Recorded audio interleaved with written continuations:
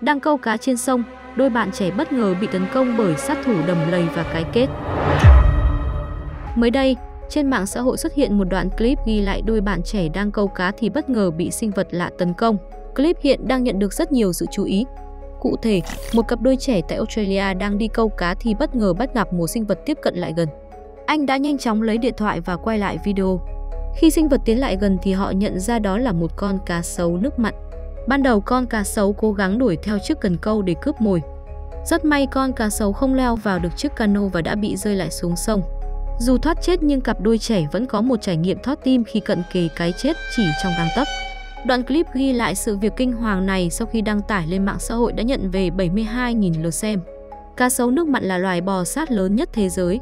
Cá sấu nước mặn trưởng thành có thể nặng tới 1.000 kg và dài hơn 6 mét. Chúng có thể lao đi với tốc độ 18 km mỗi giờ, có thể ăn cá, động vật có vú và chim nhưng sẵn sàng giết chết bất cứ thứ gì gặp trên đường, bao gồm cá mập và con người.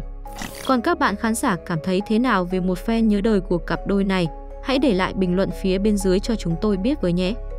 Cảm ơn các bạn đã quan tâm theo dõi. Hãy đăng ký kênh và chia sẻ video cho nhiều người cùng biết với nhé.